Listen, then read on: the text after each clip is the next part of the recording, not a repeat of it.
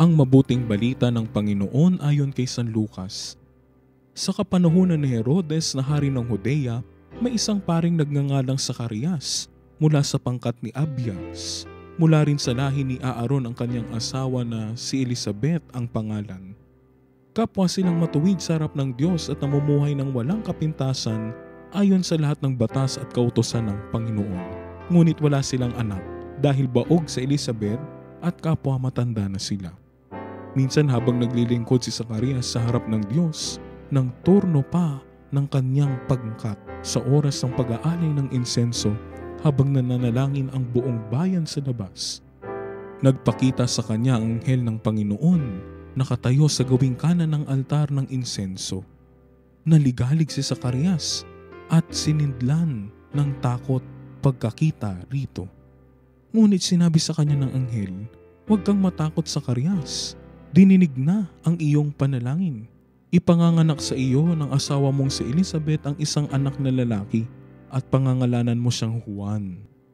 Magiging ligaya at tuwa mo siya at marami rin ang magagalak dahil sa kanyang pagsilang. Magiging dakila nga siya sa harap ng Panginoon. Sinabi naman ni Sakaria sa anghel, Paano ko ito matitiyak? Matanda na nga ako at may katandaan na rin ang aking asawa. Sumagot ang anghel at sinabi sa kanya, ako si Gabriel na nasa harap ng Diyos. Ako ang sinugo sa iyo para kausapin ka at ihatid ang magandang balitang ito. Matutupad sa takdang panahon ng aking mga salita. Ngunit ikaw na hindi naniniwala ay magiging pipi at di makapagsasalita hanggang sa araw na mangyari ang mga ito. Nang matapos na nga ang panahon ng kanyang paglilingkod, umuwi si Zacarias at pagkaraan ng mga araw, nagdalang tao ang asawa niyang si Elizabeth Ngunit limang buwang itong hindi lumabas sa bahay at sinabi, Ito'y gawa ng Panginoon. Ipinasya niyang alisin ang kahihiyan ko sa paningin ng mga tao. Ang mabuting balita ng Panginoon. Pagsasadiwa, huwag kang matakot sa karyas, dininig na ang iyong panalangin. Katulad ni Jose sa Ebanghelyo kahapon, naligalig din si Sakarias at sinidlan ng takot pagkakita sa anghel ng Panginoon na nagpapahiwatig ng karanasan ng presensya ng Diyos.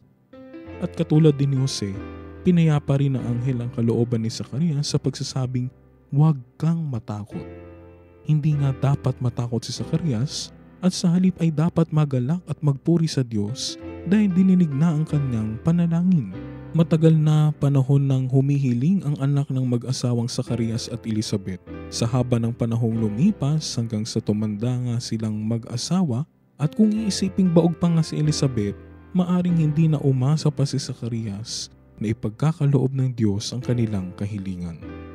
Kaya nga nag-aalinlangan siya at sinabi ng anghel at nagtanong siya, paano ko ito matitiyak? Ang kahulugan ng pangalang Zacarias ay nakakaalala si Yahweh. Maaring nalimutan na ng mag-asawa ang kanilang kahilingan pero hindi nakalilimot ang Diyos. Sa takdang panahon at nararapat na pagkakataon, tinutupad niya ang mabubuting hangarin ng ating mga puso.